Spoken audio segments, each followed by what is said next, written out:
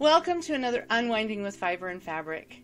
It's quiet in the house at the moment, and so I thought this would be a good time to put together a short video update on what I'm doing and what I've been doing since the end of Tour de Fleece. But before I get into that, let me give a shout out to all of my wonderful subscribers. I have been just tickled. As I've said in other videos, I started doing this as a way to share with my family and friends my crafting and um, and and fabric love of fabric the joy i get from fabric and fibers and spinning. And when i decided to do this i thought well rather than piece by piece just trying to get the information out to my friends one by one why don't i put the videos together and and share it with whoever is interested? And i have to say i'm so excited because during Tour de Fleece, I finally reached over a hundred subscribers, and the number keeps growing slow and steady, and that's fine. I I'm excited. I'm excited when I see that another person has has found joy in my um, my crazy little videos. So I wanted to say thank you to all of the people who have made this summer and the this this whole past year, but especially these last few weeks, these last few months, such a rewarding experience because it can get a little crazy, and I do love all that I'm doing, but it just tickles me. It just gives me so much more a warm, joyful feeling when I get a comment, somebody hits like, and somebody subscribes. Because it means that what I've done has touched someone's life and for me, it's not about the numbers, it's about that little piece of something I've done has touched someone's life. And that is just truly the greatest joy to know that, that in my crazy little world, I've reached somebody in a way that, that they might have saw useful or special. So thank you. Thank you all for just watching. so back to my updates. So Tour de Fleece ended now oh goodness, weeks ago. and when de Fleece ended, I knew we would be only a few short days and we'd be into the Summer Olympics. And for those of you who follow the social media crafting site Ravelry, you may be aware that Ravelry has been doing uh, Ravellenics for quite a number of years. And it's just a fun way to get crafters to challenge themselves, to share what they are creating, in a way that supports them, them in the, the community of crafting. And we do it alongside the um, Winter and the Summer Olympics. Has no affiliation with the Olympics, but crafters tend to like watching the Olympics and things like the Olympics, like Tour de Fleece, while they're crafting. We sit in front of the TV and we crochet and we knit and we spin and we quilt and we do these kind of things. And so it's really wonderful to have this opportunity to share and be feel like we're part of the community. And this year has been especially wonderful because anyone who's following the Olympics and following fiber arts knows that we have um, we have an Olympian out there who knits while he sits in between waiting for next competitions. And I just think that's wonderful. I think it is so wonderful to see this, um, and, I, and I say this and grin inside every time I say this. This young man. I'm reminding myself now every day, it seems, or I should say, somebody's reminding me of this every day, that I'm finally old enough that I can look at someone and say, yes, they're a young man. Even when they're not in their teens or their 20s. So, I've been enjoying watching the coverage. I've been enjoying watching um, just the, the joy, the um, surprise, the excitement, the wonderful display of athletics. And I have especially loved the response to seeing knitting now on the Olympic stage, legitimately on the Olympic stage, not as an event, but as what most of us understand these crafts do to us. As a way to relax, as a way to keep our minds focused and um, keep the stress at bay while we wait in between things, while we get through our days. Whatever our tasks are, whatever our jobs are, these fiber arts, these textiles, um, textiles, they help us. They help us find joy, they help us find relaxation, and they help us find peace. So, shout out to all of you Olympians who have discovered the joy and stress relief of knitting and crochet and, and these textiles. Kudos, you are impressive on many fronts. So, back to the um, update as to what I'm doing and also the topic that I wanted to share, which is dyed in the wool. It is a phrase that many people may have heard of, but they may not always know the meaning. And I recommend anyone who has not heard of it or anyone that's not really sure what it means, Google it because it's amazing how some of these terminologies, well, they come from textiles, they come from they come from wool.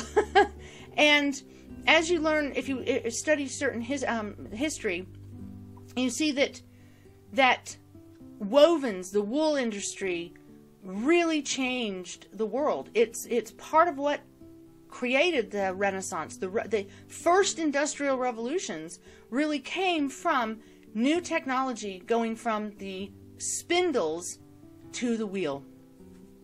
And how all of a sudden it made the production of fabric so much faster, so much more economical. And and so we get a lot of phrases that come from the weaving, the wool production into cloth world. And so it's always fun when you find one and you look it up. But I'll let you Google it to get the actual definitions, and I will tell you what I know it means. Dyed in the wool, as opposed to dyed in the grease or spun in the grease. Dyed in the grease and spun in the grease means that you are putting the dye into a very lanolin filled wool. It will take some dye, but it won't take it as well because that lanolin, which is actually a waxy substance, that lanolin would prevent it from really getting to the wool. I've played around a little bit with it. It's kind of a waste of dye in my my um, est- estimation. But dyed in the wool, on the other hand, oh my! I've been I've been playing with dyed in the wool fibers um, right from the beginning of my spinning experience because I love the kind of non-solid color that you get. It reads as a solid from a distance, but it's not solid. It has variation of color. And not only does it make it easier to um, not have light and dark patches that you don't want, it highlights the light and dark patches. And so when you do this in the raw wool, not the not the lanolin raw wool, but the scoured raw state, the locks, you get wonderful colors. And I will show some pictures as I'm speaking of the different, um, some of the different things. But the first thing I want to show you is what does it look like to see dyed in the wool. And the first that I'm going to show you, this is, I, I'm going to show some Leicester long wool because that's what I've been spinning a lot towards the end of the Tour de Fleece. And I've got a couple projects that I've been working on that I was using it. So it was the bucket of fiber that was in the house when I was playing the other day. And I needed to dye um, some some silk um, fabric, and I was like, "Ooh, that's pretty dye." And ooh, there's some excess dye that I made because it's you know, I only needed this little bit of silk, and I made too much dye. So what can I grab to use up the dye? Well, I grabbed Leicester long wool, and this is a gray Leicester long wool, and I over dyed it this beautiful teal. And if you look at it, you'll see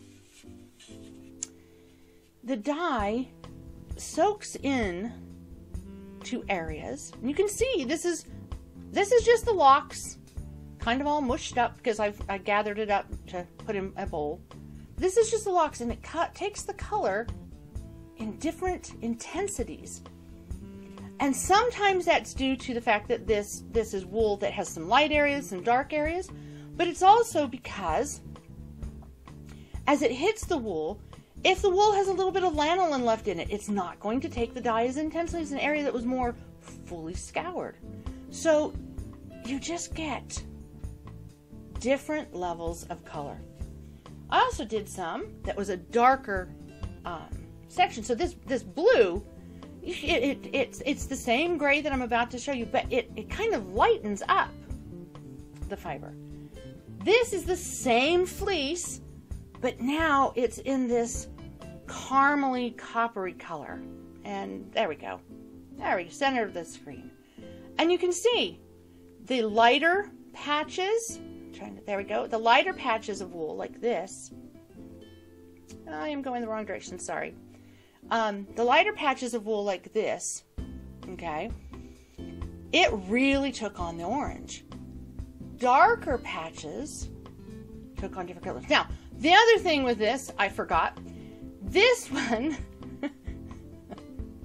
this is fiber that I had some left over of the orange, so I put the fiber down in a mason jar, and then I sprinkled, oh yes, now I'm remembering how I did it that day.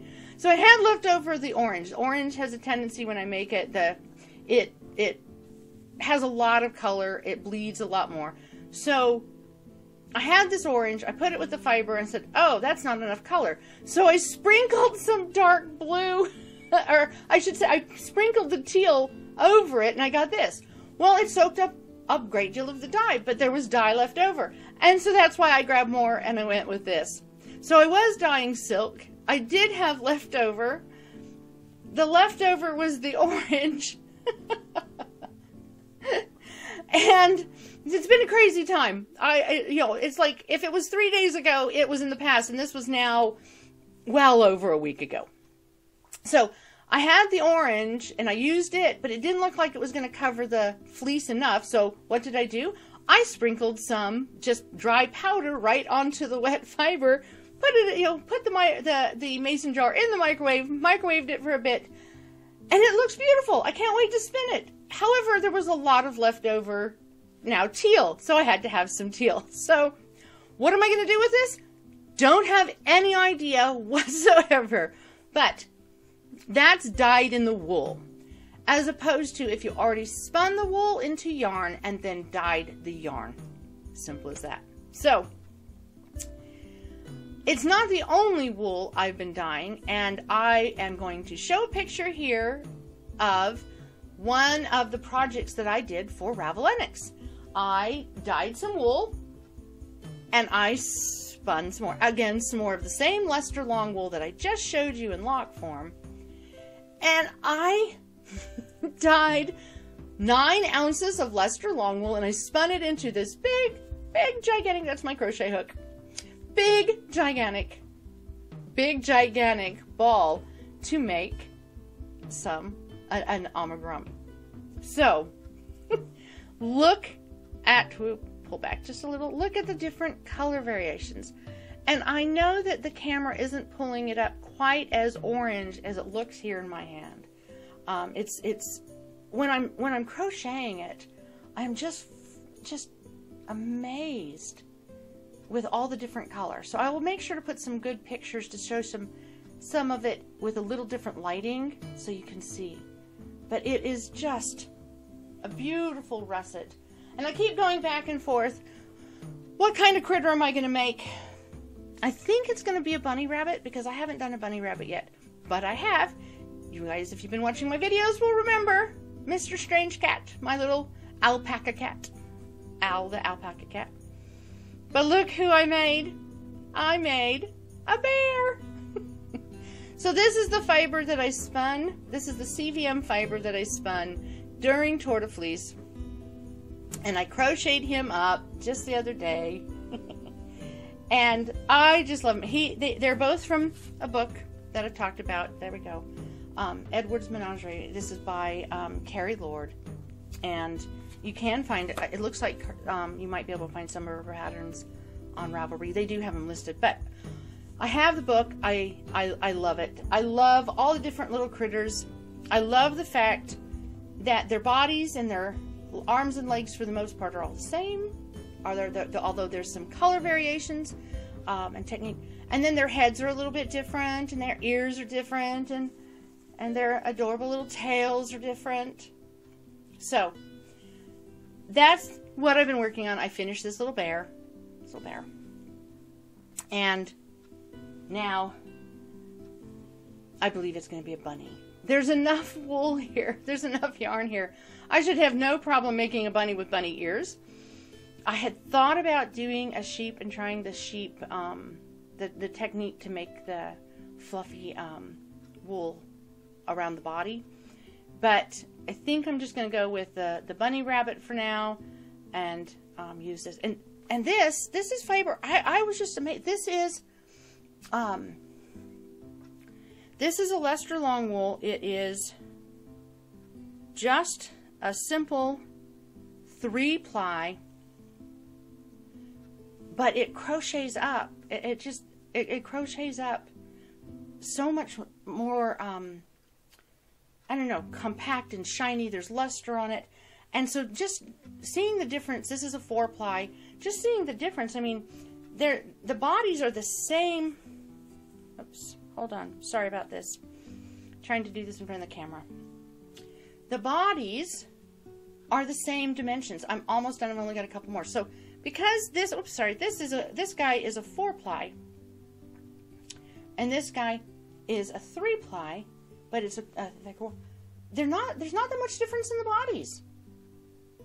So I just find it very interesting how when crocheting up the fibers, this is a loftier fiber and this is a denser fiber. So maybe when I crochet, the loft gets squished out, whereas this one didn't have any loft to begin with, and so it stays the same. But same, they're the same bodies, but they're kind of, you know, you know, the, the wool is different.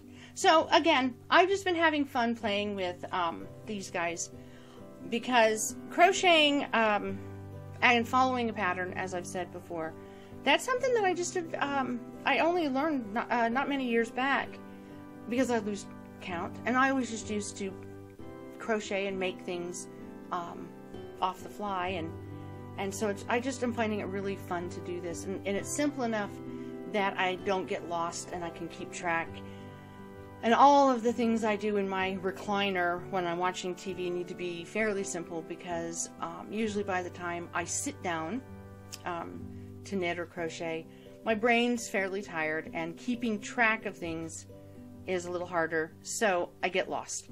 So I love these patterns because I don't get lost. But also speaking of Leicester Long Wool, um, I did spin some more of this um, it comes from a ram um, called um, Gunter. And I, you, I spun up a bunch of it so that my daughter could ply a single with this yarn that she spun. So those of you that have been following the video, you may have watched my video on um, using a hackle to blend fibers uh, now a few months back. This is the fiber that I was going to use in Tour de Fleece before I decided to only use un, uh, pro, uh, unprepared, unprocessed fiber. So I gave this fiber to my daughter to spin. She spun it up, and rather than plying it upon itself, she plied it with a Leicester long wool single. And it worked really, really well so people who, um, there's, I know a lot of people who like to spin up a soft, fluffy yarn, maybe a thick and thin, um, and they want to ply it with a thread. What we did here was made, in essence, a thread out of the Leicester long wool. Because, as I've shown in, in um, other videos, in a short that I did, these long wools, I would imagine any of the long wools, Lincoln long wool, any of them, these long wools, while they don't necessarily because it's a coarser wool you're never going to get the fine fine thin threads that you would get for some of the lace stuff. But you can get pretty thin singles. And so i challenge you to try instead of just going and getting a, a, a purchased thread why don't you get some why don't you get some long wools and spin them fine and try plying them with your character yarns. This, oh, it's still so soft. this is definitely something that is um, still true to the purpose that I, I blended it. It could still make socks. It uh, could still make slippers. It could still make mittens. Probably even a hat for somebody who doesn't have hypersensitive skin like I do. It's just, it is really lovely. It's and it's and it's still.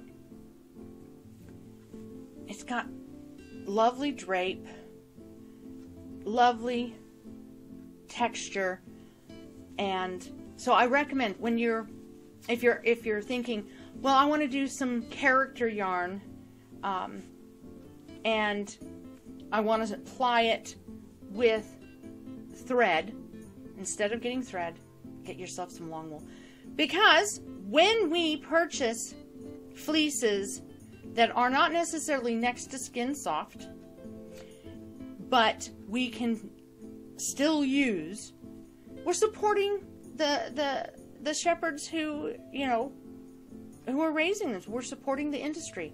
We're give we're in essence helping keep it going. So that's my tip. I have used thread. I'm not saying that you can't use thread, but try as a spinner to maybe come up with your own thread. And this is a really great single to add to this. I think we may actually maybe knit this up or weave this up and see what happens when it felts, just as a curiosity. Who knows? But it has to be a little less crazy than it is at the moment before we're going to get to that because, um, yeah, it's been crazy. And it's summer and hopefully I will get onto I have the quilt back here that I'm still quilting on. I have the quilt here that I'm doing the quilting on. I have a baby quilt that I that I have ready to do the final piecing of the blocks together before I can piece the blocks into the top. it's been crazy. I did want to show, I had one more thing I forgot that was sitting here because I was resting my leg against it and forgot. What does it look like when you use dyed in the wool yarn? Well, you're seeing some dyed in the wool yarn being crocheted like that, and you're seeing it there. Okay. Dyed in the wool. This is dyed in the wool yarn. And so is this. And this red go over here. There we go. Now I'm in front of the camera and the pillow's in front of the camera. Ah, uh, yes, I'm tired. I need to wrap this up. Um, it's, at least on my screen that I'm seeing, it's looking a little orangey, but this is a white and black fleece that was over dyed with black cherry Kool-Aid. doesn't smell like Kool-Aid anymore, but it did for a long time. And that it's just that that color, and that's how beautiful it's it's in in person. It's just dark cherry red. Um, I have no idea what I got, what what I did. It might be pink lemonade for all I know. But you can see, if I bring it up close, you can see the pink is obviously uh, over dyed on something that was a little bit white and gray-ish or tan. This has dark areas and light areas. This has dark areas and light areas. And when I crochet, this is just a big granny square. Crocheted the two of them together. And what's inside is a pillow that I have um, made with a burgundy fabric so that, you know, you can have a holes. So, I think I may have shown this once before, but this is an example of what happens when you dye in the wool and let the colors just blend as they will as you spin. You get some very interesting effects. You get some very interesting, um, very interesting, I dropped this guy over here, very interesting colors and textures and no need to change yarns when the yarn changes like this on its own. So it's a little something different. It's different than what you get if you overdye it. And in case anyone's interested, as I said, this is my little crochet hook. My husband makes the handles for me. He makes me these hooks because they're easier on my hand. And strangely enough, it actually works as a little massage tool if I'm just fidgeting with it. It's a great fidget toy. So, if anyone's curious, that's my little crochet hook. Well, I think I've covered everything that I wanted to talk about. I'm hoping to move into getting some of my quilting done um, and bringing some more uh, quilting videos. And of course, as autumn arrives, I'm hoping to do some more machine embroidery. I had the machine embroidery um, uh, going the other day. I'm trying to remember what project I did now that I think about it. Um, oh yes, I didn't bring it. I have. I, I. I'll bet I'll put a. I'll put a picture right here. I made a patch for my husband. I um, using a new um, module from the Embrilliance software. I took a design I digitized 18 years ago, and I put it in a patch. And I guess I'll I'll end with this story. So about 18 years ago, my husband um, came home from um, from a military deployment, and when he came home, he said, "You know that sewing machine you're always talking about, the one you call the grandma's machine." He said, "Would that machine make patches? Could you make patches with that machine?" And I and I said, "Well, yeah, of course you could make patches with that machine."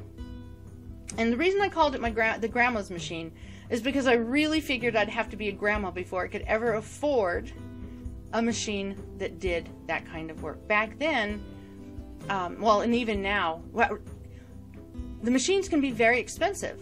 But the difference that's happened over these last 20 years is that they're now machines of many different price ranges. So it's a little bit, as far as the machine goes, a little more economical to get into machine embroidery than it was years ago. But he asked, he said, so can this grandma machine that you're always talking about, um, could it make patches? And I said, sure. I said, you know, do you want to go and see what the machine can do? Actually see what the machine can do. And, and he's like, sure. So I think he'd been back from the Gulf, uh, less than a week. and we load our, you know, our little kids in the car and we drive into, drive the hour into town to take a look so I could show him up close and personal what this machine could do. we came home with that machine. We came home with a full package of embroidery software. We we had to actually talk to our bank because um, when we used the credit card, they're like, "Are you sure this is you?" Because we, the only time we'd ever spent that kind of money ever before was on a vehicle. Oops, sorry about that bump in the camera on a vehicle and on our house. And so this was a very unusual purchase for us. It was leap in a prayer and hope that we can figure out how to make all the bills work. But we came home with some thread, some stabilizer, machine, um, the machine, and some embroidery software. And I sat down and spent 70 hours in the upcoming the week following learning how to digitize, how to use the software so that I could make my own designs, like a patch, because we were so poor. Um, buying designs was not something that was economical. So it really did come down to could I learn how to digitize? So I sat down and I did this in over 70 weeks in one week time over the next seven days with very few showers, not eating a whole lot, and my kids wondering what in the world mom was doing. I learned how to digitize. And the first thing I digitized that I was, you know, that, that I was ready to, to, to really stitch out and um, feel proud of is I digitized an F-16 um, fighter jet. And I, uh, again, I'll show you some pictures. I figured out on the hoop, my largest hoop that I had at that time, that if I angled the design a 45 degree from corner to corner, I could make a much larger um, embroidery than my hoop was set up to do. And um, and I did that, and I made it for a jacket that my husband had at the time. And over the years, my son wore it um, quite a bit, and it's it's it's quite it's quite um, it's quite a fond memory. But I did try my hand at making patches. Um, and then I completely moved into digitizing other things. And the years passed, and I used the machine quite a bit for the for other things. I used it a lot for maybe making baby receiving blankets um, for friends, for family, for charity. And then for a while, when my health kind of got a little rough, I didn't didn't do as much of that kind of stuff because I had other things that were um, that I w- was focusing on. But a few years ago, I got back into using the machine all the time. I got back into digitizing just a couple years ago when I found the Embrilliance software, which is, for me, just leaps and bounds beyond what the other softwares that I've been using um, allowed me to do because I like being able to create it myself rather than having wizards and stuff like that. But I have to to to to, to put out there that yes, Embrilliance recently came up with a way to make the patches look like the spec- um, the specialized patch machines. And I was intrigued because I remembered my husband asking all those years ago, could you make patches? And so I was intrigued, but I hadn't played around. And then they came up with this whole module that makes patches all over the place, and I was like, oh, well, yeah, that's going to be cool. but I was like, well, but I'm, I don't really have a use for the patches like I used to.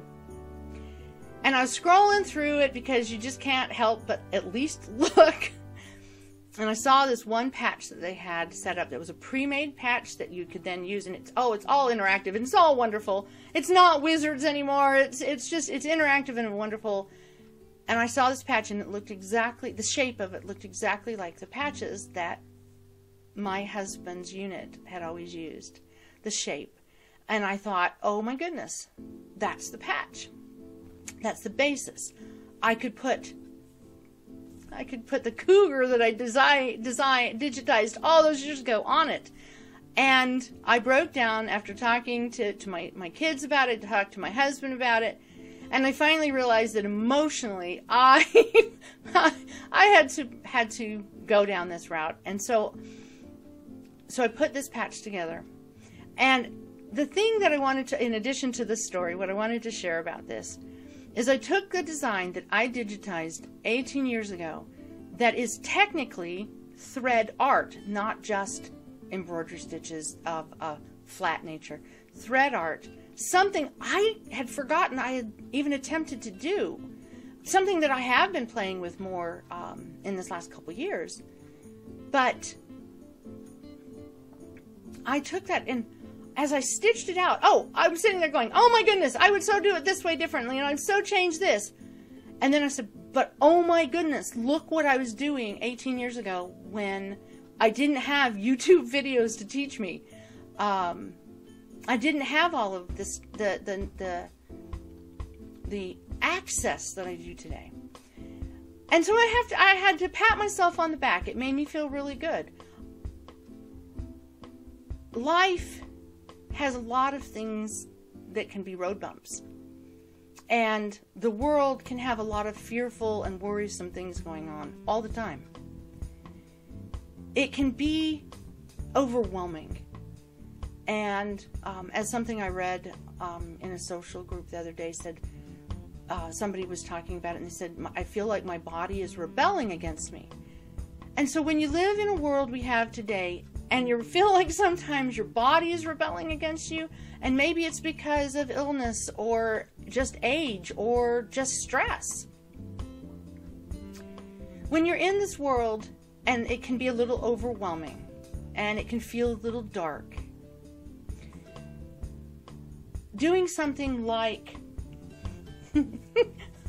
a teddy bear for yourself it doesn't have to be for someone else, and it doesn't have to be for sale. These are mine. I stuffed them with wool scraps, as in the leftovers.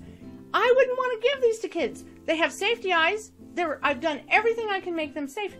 But they smell like the Irish Spring soap that I use to keep moths at bay. These are filled with the waste fiber, including the the grasses and weeds that I pick out. So these are mine. These are made for me. These are made for my joy.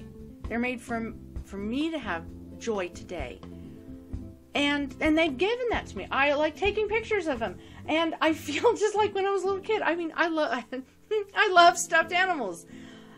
I love the joy of making them. I love the joy of sharing them, and they don't they don't have to be for anything else than for joy. And something tells me that my kids are going to steal them, my grandkids are going to, somebody's going to come along and steal them, and they'll be fine. They'll be fine. And they do smell good. I would never use Irish Spring soap as a soap, but I would definitely use Irish Spring soap to keep away the moths, and it smells great when it's been sitting with the fiber and has made the fiber smell it because it's really, really strong soap.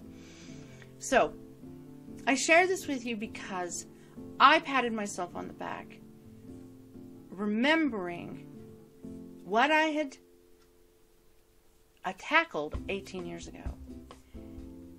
Over that 18 years, I went from believing I was healthy and strong and could do anything to finding out that my body was rebelling against me in so many different ways. But I do think that the reason I never gave up, that I never lost hope, that I keep going on, I make these videos, I share the joy, is that when we create, when we create something, when we try, that joy, it makes up the difference. It helps put a salve to the wounds it combats the stress. It pushes away the dark clouds and brings out the sunshine. So, that's my message. I guess the video wasn't quite as short as I thought it was going to be. I hope you have a wonderful day. I hope you can get out some fiber or some fabric and get creating. I hope that you've had an opportunity to enjoy some of the Olympics, connect maybe in a way to one of the athletes, regardless of your physical situation, your emotional situation. I hope you found an example of the challenge succeeding, the joy, the camaraderie, the community that the Olympics has always represented. That the knitting groups and the quilting groups and the crochet groups and the weaving groups that they represent. I hope you're staying safe. I hope you're wearing masks. I hope you're getting the vaccine. And most importantly, I hope you're finding a way to stay connected. Thank you for those of you who've watched my videos and watched this to the end. I wish you a wonderful, happy unwinding with fiber and fabric, and we will see you again soon.